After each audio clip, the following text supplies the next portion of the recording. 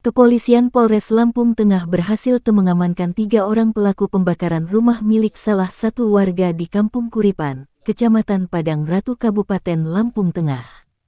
Ketiganya yakni DA, warga Kampung Tanjung Harapan, Kecamatan Anak Tuha, PS Kampung Aji Tua Kecamatan Anak Tuha dan MA asal Kampung Sinar Banten Kecamatan Bekri, Kabupaten Lampung Tengah.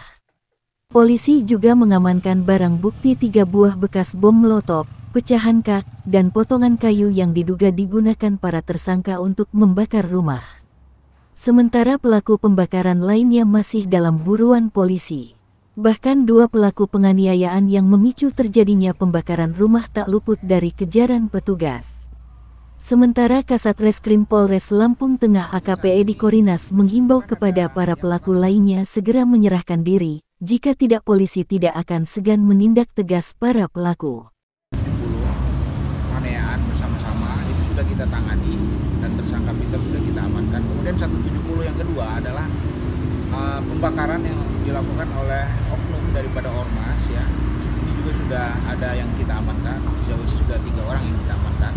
Hari ini dalam pemeriksaan dan pengembangan uh, himbauan saya kepada oknum-oknum yang masih berkeliaran yang merasa melakukan pengerusakan rumah saudara Peter agar segera menyerahkan diri belum kami lakukan upaya paksa dan penangkapan. Hmm. karena memang hukum harus ditegakkan. Tidak boleh ada main hakim sendiri. Karena percayakan semua penegakan hukum kepada aparat kepolisian.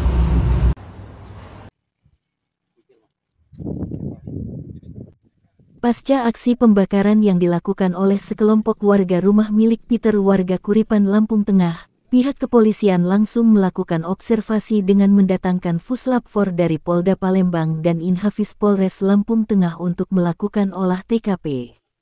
Kepolisian juga berhasil mengamankan pelaku pembakaran rumah milik Peter Joli Wijaya yang statusnya sebagai tersangka penganiayaan terhadap Talib Suseno.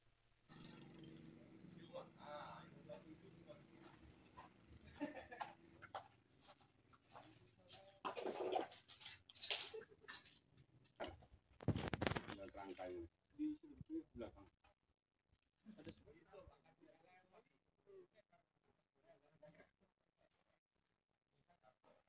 Baik. Foto LAPK di depan sana.